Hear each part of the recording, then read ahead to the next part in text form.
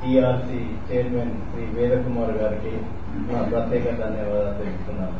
మేము state finance corporation ఒక public sector undertaking తర్వాత మన రాష్ట్రంలో ఏర్పడ్డ అన్ని కార్పొరేషన్లు మన రాష్ట్ర పరిధిలోకి వచ్చి తర్వాత రాష్ట్ర యొక్క కంపెనీస్ యాక్ట్ కిందనో లేకపోతే రాష్ట్ర ప్రభుత్వం చేసిన చట్టం ప్రకారం ఏర్పడిన కార్పొరేషన్స్.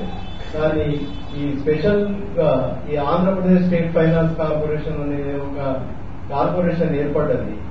ఇది ప్రత్యేకంగా సెంట్రల్ గవర్నమెంట్ చట్టం ప్రకారం state financial corporations act nineteen fifty వన్లో నెహ్రూ గారి పీరియడ్లో దేశంలో ఇండస్ట్రియలైజేషన్ చేయాలి పారిశ్రామికరణ చేయాలన్న ఉద్దేశంతో చిన్న తరహా మధ్య తరహా పరిశ్రమలకు దేశంలో ప్రోత్సాహం కల్పించాలని ప్రతి స్టేట్కు ఒక స్టేట్ ఫైనాన్షియల్ కార్పొరేషన్ ఏర్పాటు చేయాలని వారి ఉద్దేశం చిన్న తరహా పరిశ్రమలతోని మన ఉపాధి కల్పించాలి.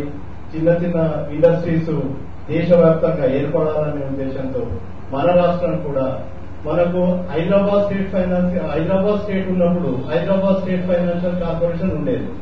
ఆంధ్రాలో Andhra state finance corporation nineteen fifty సిక్స్లో మన ఆంధ్రప్రదేశ్ ఏర్పడ్డ తర్వాత ఫస్ట్ నవంబర్ నైన్టీన్ ఫిఫ్టీ సిక్స్లో మన ఆంధ్రప్రదేశ్ ఏర్పడ్డది. అదే రోజు ఆంధ్రప్రదేశ్ స్టేట్ ఫైనాన్షియల్ కార్పొరేషన్ కూడా ఇన్కార్పొరేట్ చేయబడ్డది.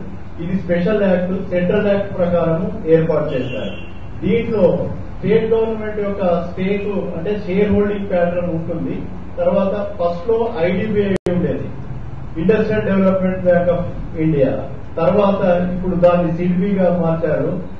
చిల్పి అంటే చిల్పి తీసుకుంది. అంటే చిన్న తరహా పరిశ్రమలకు small industries development bank of India దీంట్లో షేర్ హోల్డర్ మరి state government main share holder తర్వాత ప్రైవేట్ వ్యక్తులు కొందరే ఉంటారు. ఎక్కువ ఎక్కువ శాతం ఎనభై శాతం ఎనభై ఆరు శాతం మన స్టేట్ గవర్నమెంట్ షేర్స్ దీంట్లో ఉన్నాయి. ఈ కార్పొరేషన్ ఏర్పడ్డ తర్వాత ఇది మొత్తం ఆంధ్ర వారి ఆధిపత్యంలోనే కొనసాగుతుంది. ఎంప్లాయీస్ మట్టుకు దాదాపు నైన్టీ పర్సెంట్ ఆంధ్ర వాళ్ళే. దీంట్లో రిక్రూట్మెంట్ ఎలా జరిగిందో మనకు తెలియదు. చాలా ఏళ్ళ వరకు ఎయిటీ ఫైవ్ వరకు అసలు తెలంగాణలో బ్రాంచెస్ లేవు. హైదరాబాద్లో హెడ్ ఆఫీసు తర్వాత హెడ్ ఆఫీస్లో కూడా రిక్రూట్మెంట్స్ అంతా వాళ్ళు అప్పుడు చైర్మన్ ఆంధ్రప్రదేశ్ గవర్నమెంట్ రికమెండేషన్ తోని నాన్ అఫీషియల్ ఇక్కడ పొలిటికల్ లీడర్స్ కొద్ది విధానం పెట్టారు. తర్వాత ఎక్కువ శాతం ప్రొఫెషనల్స్ను పెట్టారు. తర్వాత దీంట్లో రిక్రూట్మెంట్స్లో మాత్రం ఏ తర గవర్నమెంట్ రూల్స్ కానీ ఇప్పుడు శివాజీ గారు చెప్పినట్టు త్రీ సెవెంటీ వన్ కానీ జోనల్ సిస్టమ్ కానీ ఎలాంటి నిబంధనలు పాటించకుండా ఈ రిక్రూట్మెంట్స్ జరగడంతో తెలంగాణ ఎంప్లాయీస్ చాలా మటుకు తగ్గిపోయారు. తర్వాత అన్ని పోస్టులు అసిస్టెంట్ జనరల్ అసిస్టెంట్ మేనేజర్ క్యాడర్లో తీసుకొని ఈ స్టేట్ లెవెల్ కాంపిటీషన్ అని తర్వాత ఎయిటీ ఫైవ్ నుంచి రిక్రూట్మెంట్స్కు టెస్టులు కండక్ట్ చేసి చాలా మటుకు ఆంధ్ర వారికి అవకాశాలు కల్పించి దీంట్లో ఎనభై ఐదు తొంభై శాతం మంది ఆంధ్ర ఆధిపత్యంలో జీఎంస్ కానీ general managers assistant general managers ఇలా కొనసాగుతున్నారు. ఇప్పుడున్న పరిస్థితుల్లో ఈ రాష్ట్ర విభజన జరిగిన తర్వాత ఈ కార్పొరేషన్ అన్నిటికీ వర్తించే సెక్షన్స్ మన బైఫర్కేషన్ యాక్ట్ ప్రకారం ఏపీ రీఆర్గనైజేషన్ యాక్ట్ ప్రకారం మనకు sixty eight to seventy five sections మనకు చట్టం వర్తిస్తుంది. ఈ నైన్త్ అండ్ టెన్త్ షెడ్యూల్. మేలైతే నైన్త్ షెడ్యూల్ కార్పొరేషన్స్ అన్నిటికీ ఈ sections sixty eight to seventy five. దాంట్లో ఈ ఆస్తుల విభజనకు సంబంధించి sixty eight sub clause two ప్రకారము ఫిఫ్టీ త్రీ సెక్షన్ ప్రకారం ఈ ఆస్తులను విభజించాలి.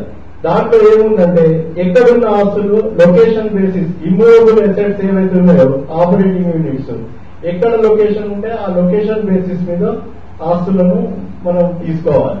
కానీ చాలా కార్పొరేషన్స్లో వాళ్ళు హెడ్ ఆఫీసులు దాంట్లో ఉన్న దాని ప్రకారము ఆ సెక్షన్ ప్రకారము ఏదైతే హెడ్ క్వార్టర్ ఉందో హెడ్ క్వార్టర్లో మటుకు దాన్ని జనాభా నిష్పత్తిలో పంచుకోవాలని చెప్పారు ఫిఫ్టీ త్రీలో దాని ప్రకారం ఏం చేస్తున్నారు? ఇప్పుడు హైదరాబాద్ చుట్టుపక్కల ఉన్న ఆస్తులన్నీ ఈ హెడ్ క్వార్టర్ కిందికి వస్తాయని మా కార్పొరేషన్లో కూడా మా గవర్నమెంట్ ఈక్విటీ కింద గాజుల గ్రామాలలో రెండు వందల డెబ్బై ఒకటి ఎకరాలు అలాట్ చేశారు. దానికి corporation one not eight crores shares allot చేశారు స్టేట్ గవర్నమెంట్.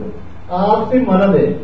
తెలంగాణలో గడ్డ మీద ఉంది. రంగారెడ్డి షేరింగ్ ఆ, మండలంలో ఉంది కనుక అది తెలంగాణకు వస్తుందని మేము ఎంప్లాయ్ మన Telangana officers and employees union తరఫున మేము బాధించాం. కానీ వాళ్ళు ఏమాత్రం పట్టించుకోకుండా దాంట్లో కూడా షేర్ వస్తుంది. మనకు నానగ్రామ్ కూడా ఒక పెద్ద బిల్డింగ్ ఉంది.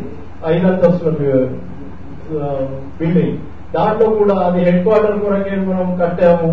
దాంట్లో కూడా మాకు షేర్ వస్తుందని ఇలా పేజీలు పెట్టి ఈ డీమేజర్ ప్లాన్ ఎలా కొనసాగకుండా వాళ్ళకి ఇష్టం వచ్చిన రీతిలో తయారు చేసి దాన్ని బోర్డుకు పెట్టి ఆమోదించాలని ప్రయత్నం చేస్తే మేము అడ్డుకొని దాన్ని కానివ్వకుండా అడ్డుకున్నాం.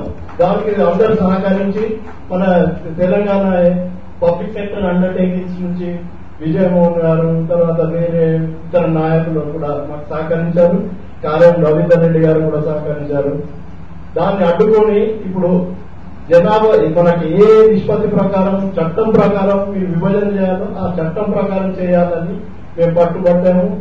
దాన్ని వాళ్ళు పాటించకుండా బోర్డులో కూడా వాళ్ళే మెజార్టీ ఉన్నారు కనుక మెజార్టీ ప్రకారం మేము చేశాము. దాన్ని మీరు ఆమోదించాల్సిందే వాళ్ళు పట్టు బట్టి ఇష్టం ఉన్న ఇష్టారీతిగా వాళ్ళు వ్యవహరిస్తున్నారు. దాన్ని అడ్డుకొని మేము ఈ దాని ఈ మనకు ఈ కార్పొరేషన్ ఒక స్పెషల్ సెక్షన్ ఏర్పాటు చేశారు. ఈ మన రీఆర్గనైజేషన్ యాక్ట్.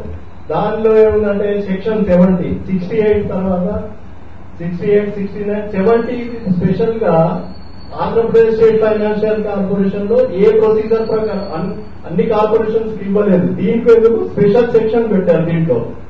ఇది మధ్యప్రదేశ్ రీఆర్గనైజేషన్ యాక్ట్లో స్టేట్ ఫైనాన్షియల్ కార్పొరేషన్ ఎలా విభజించాలని పెట్టి దాన్ని రిప్లిగా దీంట్లో కూడా అది ఇన్కార్పొరేట్ చేసి దాంట్లో ఓన్లీ ప్రొసీజర్ ఫాలో చేయాలని ఉంది. ఇప్పుడు వీళ్ళు అడ్డగోలుగా వాదిస్తే ఏమంటున్నారంటే మాకు సిక్స్టీ ఎయిట్ కానీ ఫిఫ్టీ త్రీ ప్రకారం ఈ ఆస్తులను లొకేషన్ బేసిస్ తర్వాత హెడ్ క్వార్టర్ పాపులేషన్ బేసిస్ కూడా పట్టించు మేము పాటించాల్సిన అవసరం లేదని విధండవాదం చేస్తూ ఈ డీమెజర్ కాకుండా చాలా డిలే చేస్తున్నారు. ఈ డిలేతో ఏమవుతుందంటే ఈ కట్ ఆఫ్ డేట్ను కూడా మేము మార్చుకుంటాము.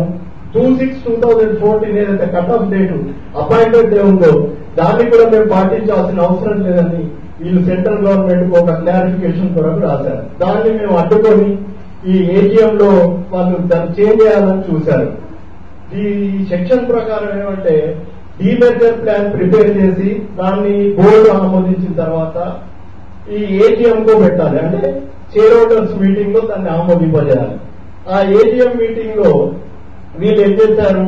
Two six two thousand fourteen నుంచి లెక్కలు తీసి దీన్ని ఆస్తులు అప్పులు విభజించాలి. కానీ దాన్ని పాటించకుండా సపరేట్గా వేరే డేట్ పెట్టేసి ఈ ప్రజెంట్ డేట్ పెట్టి దీన్ని మొత్తం పంచుకున్నాలని మనకు తెలంగాణకు లా చేయాలనే కుట్ర తెరదీశారు. దాన్ని అడ్డుకొని ఏటీఎంలు కూడా మేము ఆపేశారు. తర్వాత ఈ ఇదంతా గందరగోళం జరుగుతున్నాయని వాళ్ళు విజయవాడలో ట్వంటీ క్రోర్స్ తోని ఒక కార్పొరేట్ ఆఫీసు కట్టుకోవాలని బోర్డులో ఒక ప్రపోజల్ పెట్టారు.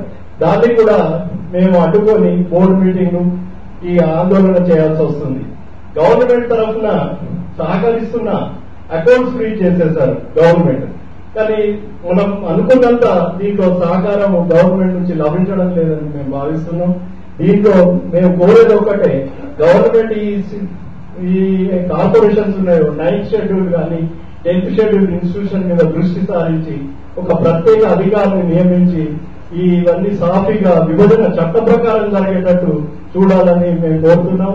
ఈ sixty nine to seventy five sections అన్ని ఫాలో చేస్తూ చట్ట ప్రకారం అన్ని విభజన జరగాలని మేము డిమాండ్ చేస్తున్నాము. ఈ అవకాశం ఇచ్చినందుకు ధన్యవాదాలు.